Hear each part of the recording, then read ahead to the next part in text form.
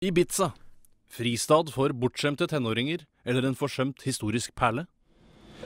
Jeg stiller meg dette spørsmålet når jeg under innflyving kikker ut av mitt lille vindu og på den ene siden ser det majestetiske landskapet, mens jeg på den andre siden ikke ser annet enn en neonlysvoldtekt av den langgrunne strandlinjen. Jeg brøyter meg vei forbi fulle britiske guttunger og pågående innkastere i hovedgaten, da jeg får øye på to jenter som sitter på fortauskanten og drikker rusbrus. Hei sann. Hvor eh, gamle er dere to jentene? 15.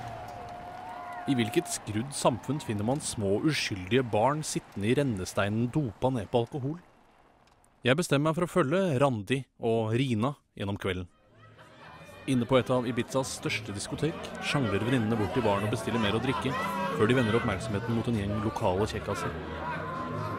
Hvorfor har dere valgt å reise til Ibiza? Festing og gutter og. Sjekking og alt sånt. Har dere hatt uh, sex før, da? Nei, nei. Hva med pikekosa? Hva liker dere best da, tror dere? Er det to gutter, eller? Tre gutter, kanskje? Eller hvor mange skal dere ligge med her nede? Jeg forbløffes over de unge jentenes avslappede forhold til seksualitet. Jeg velger å sette meg i baren og observere. Tiden går, og stedet fylles til randen av festgale ungdom. Arrangøren skrur på skummaskinen, og jeg kan skimte mine to intervjuobjekter vri seg på dansegulvet, mens de våte ryggene skinner mot meg.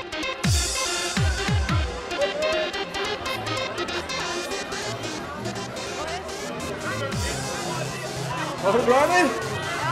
Skal ikke gå et annet sted, ja? Hæ? Kom igjen, vi stikker på Paradise Play. Jeg forsøker å teste jentene. Hvor langt er de egentlig villige til å gå i sin streben etter å bli kvitt sin jomfruelighet? Skal ikke Skal ikke bli med på hotellrommet? Nei, det. Skal ikke det? Eller Jeg har masse, jeg har, jeg har masse sprit og skal vi det, eller? Skal vi det? Skal vi ikke det? Det! vi skal. Skal vi det? Er det, er det noen som tørster her, da? Ja. ja. Er det da? Smirnoff-Ice eller Breezer eller Hooch eller noe annet? Eh, eh. Breezer. Breezer tar jeg gjerne. Jeg syns det er Det slår meg igjen. Hva er det dette stedet gjør med våre sønner og døtre? Totalt uten å tenke seg om tar jentene imot alkoholen jeg tilbyr dem, selv om de er langt under 18 år. Nei, det er jævlig bra. Skål! jeg tenkt på det så mange ganger. Jeg lar det stå til.